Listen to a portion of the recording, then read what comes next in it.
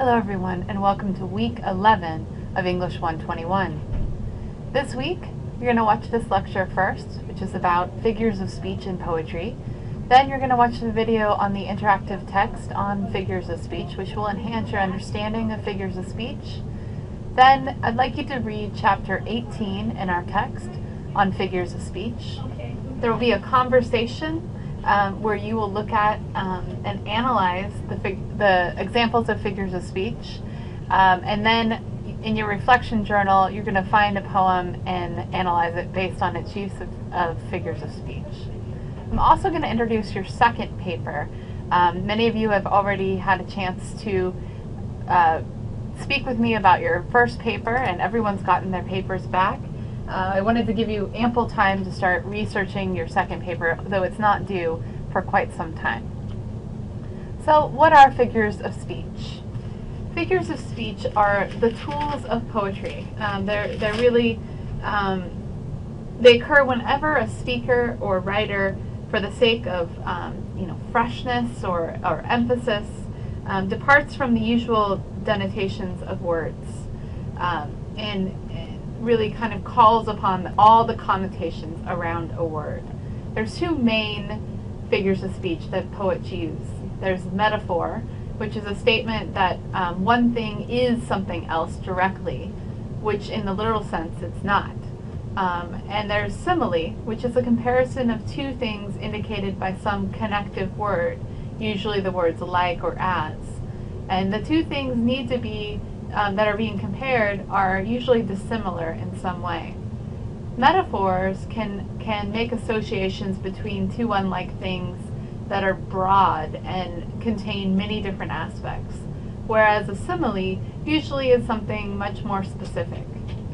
This is a poem by Sylvia Plath um, called Metaphors that is talking about the state of being pregnant using metaphors. I'm a riddle in nine syllables, an elephant, a ponderous house, a melon strolling on two tendrils. Oh, red fruit, ivory fine timbers, this loaf's big with its yeasty rising. Money's new minted in this fat purse. I'm a means, a stage, a cow and calf. I've eaten a bag of green apples, boarded the train. There's no getting off. So if you look at each of these, it's a um, uh, each of them are a metaphor for being pregnant, and she's playing with the whole idea throughout this poem. Um, a lot of poets use figurative language. In fact, it's one of the building blocks of poetry. We're going to take a look at um, My Life Had Stood a Loaded Gun by Emily Dickinson, found on page 774 if you have the text open in front of you when I'm reading it to you, I think that'll really help you think about it. My life had stood a loaded gun. This was written by Emily Dickinson um, around 1863.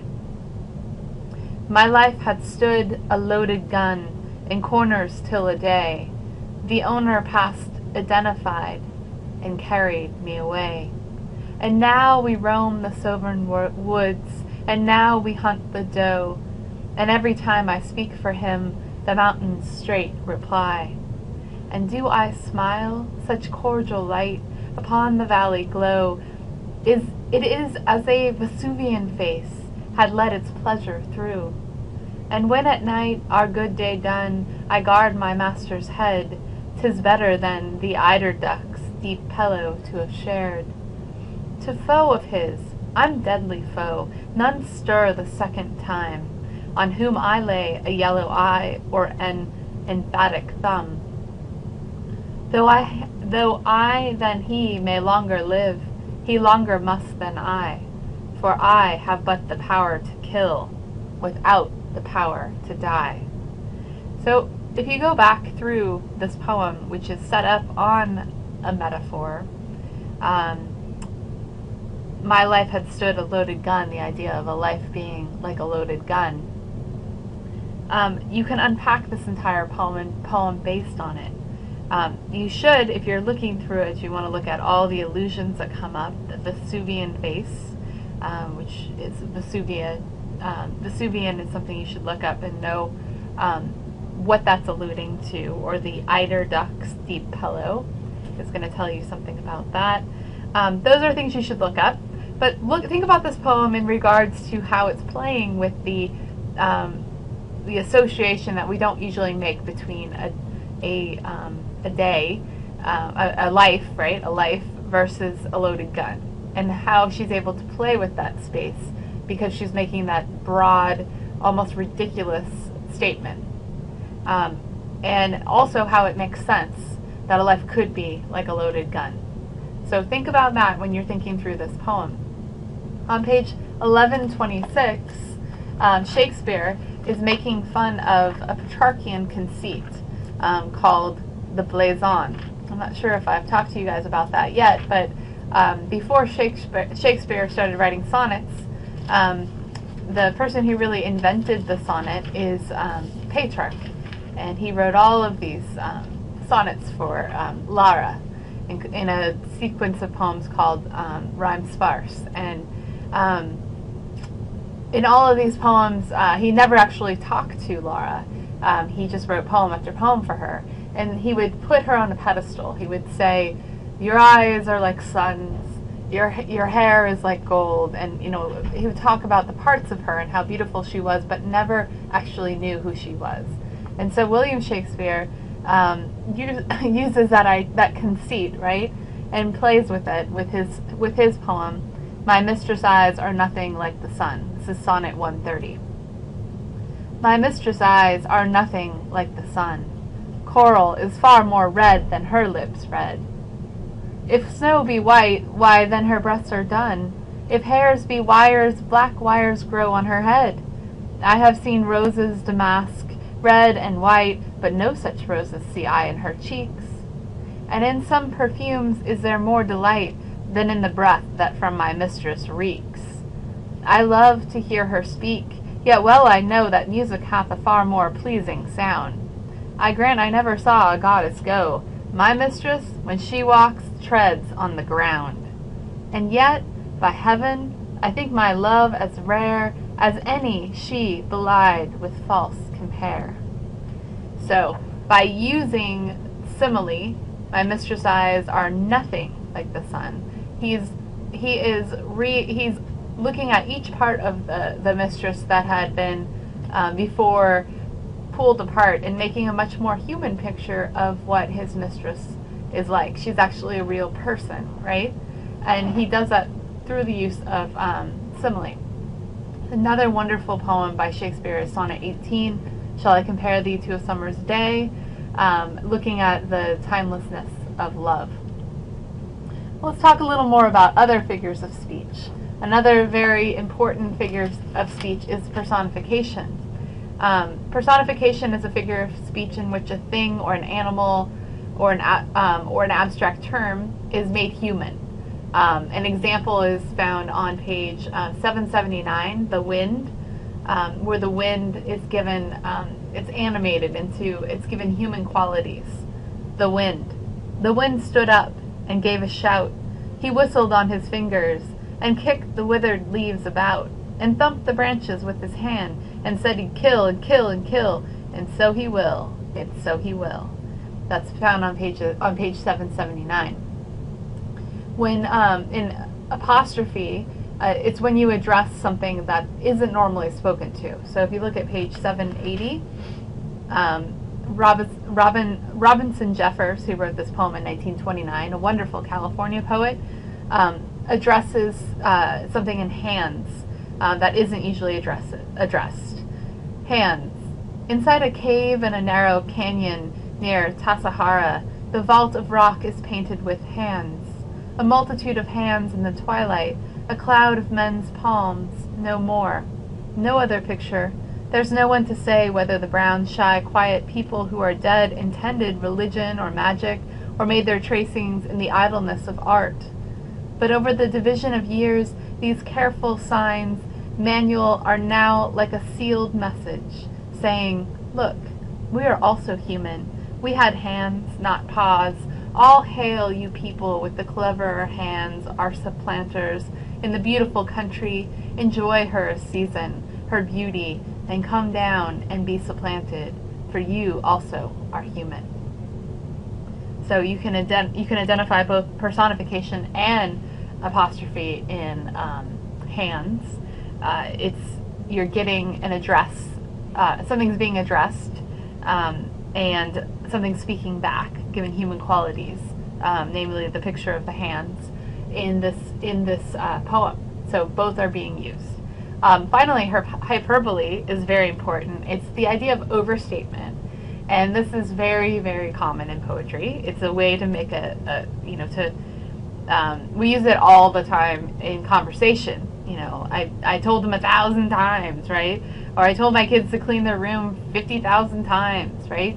We use these kinds of figures of speech in our everyday language, but in poetry, um, it's used as a way to really emphasize something. And one of the most famous acts of hyperbole is found in an ancient poem by um, Catullus. And Catullus was a Roman poet. This is Carmen 5. Carmen in Latin means poem, so poem 5. Let us live, my Lesbia, and let us love, and let us judge all the rumors of the old men to be worth just one penny. The suns are able to fall and rise. When that brief light has fallen for us, we must sleep a never-ending night. Give me a thousand kisses, then another hundred, then another thousand, then a second hundred, and then yet another thousand more, then another hundred.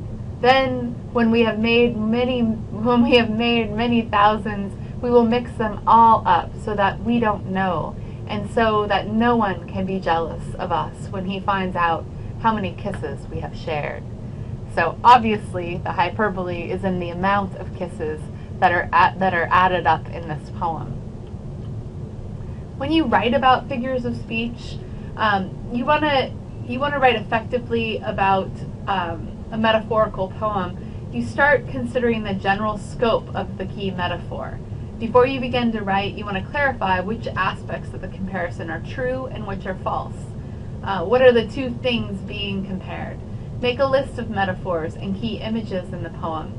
Notice whether there are obvious connections among all the metaphors or similes of the poem. So when you're doing your uh, reflection journal this week, I want you to use this checklist. Um, underline a poem's key com comparisons. Look for both similes and metaphors. How are the two things being compared alike? In what ways are the two things being compared alike? Do the metaphors or similes in the poem have anything in common? And if so, what does that commonality suggest? So, in your conversation this week, you're going to be talking about what is similar. Um, each of the quotations on page 778 uh, contains a simile or a metaphor. Um, you'll see it on page 778. It says exercise what is similar. Um, I'd like you to choose one of the eight examples posted on the, pa on the page and answer the following questions about that example. In each of these figures of speech, what two things is the poet comparing? Try to state exactly what you understand the two things have in common, the most striking similarity or similarities that the poet sees. Try and choose examples that have not already been written about so that as a class we write about all eight examples. Please post your initial post by 11.59 p.m. on Friday night and respond to at least three of your peers' posts by Monday at 11.59 p.m. And I want to remind you that when you respond to your peers' posts, Many of you are doing an excellent job with this, but when you respond, you want to make sure that you're adding to the conversation. So don't just say, hey, I really liked how you talked about uh, Swinburne's uh, comparison in Atlanta and Calydon. I thought that was really good. I want you to take it further. So um, find a way to add to the conversation. Find a way to contribute your own opinion about the particular piece of writing that he or she is writing about. Um, finally, this week I'd like you to write a reflection journal where you write about the figures of speech found in a poem. Choose a poem from the chapter that we haven't already discussed. So this is from chapter 18. And write a response where you introduce the poem and the poet who wrote the poem, and then you examine how the author is using figures of speech in his or her poem. When I say introduce the poet or the poet who wrote the poem, I want you to read up on the biography about that poet. You must refer to at least three different figures of speech in your response That means you need to refer to metaphor, simile, and personification, or metaphor, uh, hyperbole, and personification. So three different ones um, in order to re receive credit for this reflection journal. Use your examination of the different figures of speech in order to find a meaning in the poem. So use what you what you've discovered, just like you did when you were looking up the allusions. Use what you discovered to really help you um, examine what the meaning of the poem is. I do want to start drawing your attention to a chapter we're going to be talking about next week, which is how to write about poetry.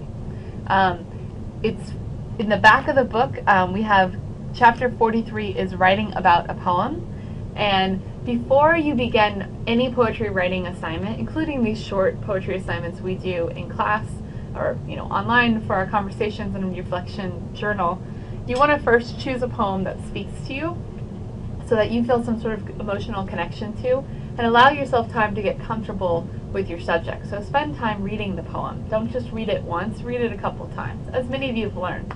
Then I want you to read actively and read the poem many times. Try reading the poem aloud. That really helps you understand a poem. And annotate the poem. So see the example on page 1934. There's an example of what annotation looks like. It's writing all over the poem in order to understand it. Look up any unfamiliar words or references and allusions and make sure you understand them in the context of the poem. Spend time thinking about the poem. Let your emotions guide you into the poem. Determine what is literally happening in the poem. Remember when we did that, where you rephrase what's happening in the poem. Ask what it all means. Um, what's the purpose of the poem? Consider the poem's shape on the page and the way it sounds. What are the line breaks? Um, how many syllables per line? Is it written in a form like a sonnet? There's two different ways that you can write about poetry that, that are brought forward in this chapter. First is comparison and contrast. That places two poems side by side and then studies their differences and similarities in order to shed light on both works. It'll pair two poems with much in common and point to further unsuspected resemblances show noteworthy differences, and carefully consider, uh, and you really need that when you're writing this type of paper, you need to carefully consider your paper's organization. Um, and we'll talk about that some more next week. Analysis is separating the poem into elements as a means to understand that subject. So you're going to look closely at one or two elements, or probably um, more, such as figures of speech, sound, or imagery, and show how this element of the poem contributes to the meaning of the whole poem. So just like when you were arguing a theme in the short stories that you were writing about, um, in this case you will be arguing the meaning of a poem. What is the poem about? And you'll use figures of speech, or sound, or imagery, or word choice as a way to explain um, that meaning. There's a sample paper on page 1946 of an analysis paper, and there's a sample paper of a comparison and contrast paper on page 1948. When you when you write about poetry, you'll need to quote it, and there's some very important information on found on pages 1950 and 1952 um, that show you what it's like to quote poetry. Um, when you quote a few lines of poetry, just uh, just a few, you want to transform the passage into the prose form. If you use a slash, that indicates a line break, and if you use a double slash, that indicates a stanza break. Um, here's an example. The color white preoccupies frost.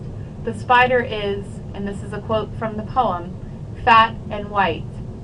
And the line here indicates a line break on a white heal-all and the line, the, the, numbers 1 to 2 are the line numbers of the poem. And even the victim moth is pale too. If you're quoting four or more lines, you want to set the lines off from your text and arrange them just as they occur on the page, white space and all. So you're going to indent one inch from the left-hand margin. You're going to double space between quoted lines. Excuse me. You're going to type the poem exactly as it appears in the original. You do not need to use quotation marks and you're going to cite the line numbers you're quoting in parentheses after the quotation. Here's an example. At the end of the poem, the poet asks what deity or fate cursed this particular mutant flower. With being white, the wayside blue and innocent heel what brought the kindred spider to that height? then steered the white moth thither in the night. Um, things to think about is omitting words. You want to um, uh, quoting only a brief phase, um, phrase and omitting full lines. And there's more information about this on pages 1950 to 1952. Um, and we will be talking about this more next week. Just want to get this conversation started. Practice quoting poems in your uh, reflection journal and your um, uh, conversation this week. When you're getting ready to write, um, and you will be writing beginning next week, you want to write a rough draft first. Um, begin with pre-writing. Um, I, I recommend, and there's information on this pages 1935 to 1938. Something like brainstorming for 15 minutes can help you think through something. Read the poem a bunch of times and then brainstorm. Let yourself um, free associate ideas or free write for 15 minutes. Just write everything in your brain. Uh, cluster ideas, make a list, create an outline. Um, then once you've got some main ideas what you think your thesis is going to be, so what the meaning of the poem is you're going to be arguing or what um, why you're going to be comparing and contrasting two poems, you want to review your purpose and audience. Why do you want to make this comparison? Excuse me. why do you want to make this comparison? Or um, uh, for what purpose? Excuse me. Um, you want to supply evidence to prove your point, and you want to um, organize your argument um, and concentrate on getting your ideas onto the page. So here's your prompt. Excuse me while I get some water. Um, paper two will be writing about poetry. You're going to write a five to six page paper in Times New Roman 12 point font, and it will be in MLA format on one of the following prompts. Compare and contrast any two poems by a single poet found in our textbook. Possible poets include Auden, Blake, Cummings, Dickinson, Donne, Eliot, Hardy, Hopkins, Hughes, Keats, Shakespeare, Stevens, Whitman, Williams, Yeats, and many others. Just um, let me know if you want to choose somebody else. Or you can write an analysis of a poem of your choice, where you research the poem, the poet, the context of the poem, and argue a meaning based on your research. You have to find. Uh, you can find good biographies of all the poets featured in our book at poets.org or the Poetry Foundation. All papers must use direct quotations from the poems and show an understanding of the terminology we've been learning in regards to the elements of poetry. Papers due November 10th at 11:59 p.m. All right, guys, that's it for this week. I apologize for the longish lecture, but I want to make sure you guys are have ample time to really start to think about writing the next paper. I urge you to stop by my office hours if you have questions I'm here on Mondays and Wednesdays from 12.30 to 3, but I'm also here at other times if you'd like to make an appointment. Those times don't work for you. Also, if you have any questions about things like MLA formatting or something like that, please just come and talk to me and I'll, I'll get you to um, some more resources or help you understand it. All right, guys, that's it. I look forward to seeing you online.